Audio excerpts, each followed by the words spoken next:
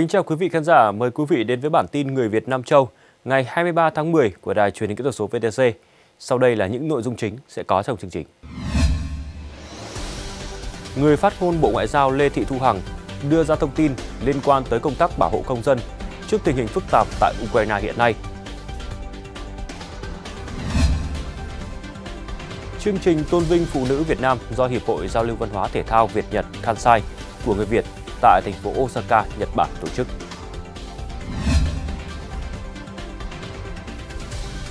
Ngày hội văn hóa với sự tham gia của gần 200 sinh viên Việt Nam đang học tập tại bang New South Wales, Australia nhằm thắt chặt tình đoàn kết trong thời gian học tập xa quê hương. Mới đây tại Fukuoka, Nhật Bản đã diễn ra chương trình hòa nhạc từ thiện gây quỹ giúp đỡ những nạn nhân chất độc màu da cam trong chiến tranh Việt Nam. Chương trình do Hội Người Việt tại Fukuoka AVF cùng Hội hữu nghị và hòa bình Nhật Việt tại Fukuoka tổ chức dưới sự bảo trợ của Tổng lãnh sự quán Việt Nam tại Fukuoka, Nhật Bản. Chương trình đã thu hút đông đảo sự quan tâm của bà con người Việt đang sinh sống, học tập và làm việc tại Nhật Bản, cũng như sự quan tâm của người dân Nhật.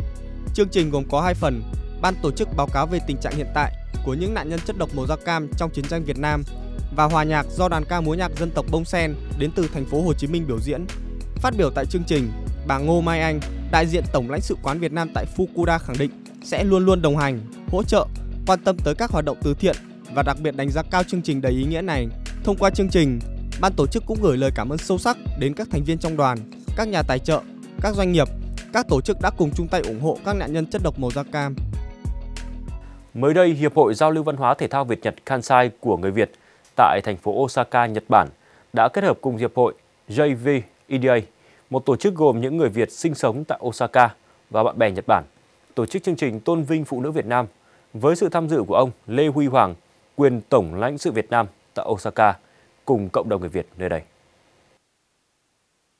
Tại đây, Hiệp hội Giao lưu Văn hóa Thể thao Việt Nhật Kansai đã ôn lại lịch sử ra đời của Hội Liên hiệp Phụ nữ Việt Nam. Trải qua nhiều thăng trầm, người phụ nữ Việt đã và đang khẳng định được vị thế trong sự nghiệp xây dựng phát triển đất nước, ngày càng năng động sáng tạo, có lối sống văn hóa, có lòng nhân hậu, quan tâm tới lợi ích xã hội và cộng đồng. Dù ở bất cứ nơi đâu, phụ nữ Việt Nam cũng luôn thể hiện vai trò tích cực, đảm đang, đóng góp nhiều công sức cho sự nghiệp ổn định gia đình, phát triển đất nước. Cũng trong chương trình, Hiệp hội Giao lưu Văn hóa Thể thao Việt Nhật Kansai đã báo cáo tổng kết công tác hoạt động trong năm vừa qua. Bên cạnh đó, Hiệp hội cũng đưa ra phương hướng hoạt động trong năm tới với nhiều chương trình được chú trọng dành cho những chị em phụ nữ sinh sống, làm việc và học tập tại Osaka.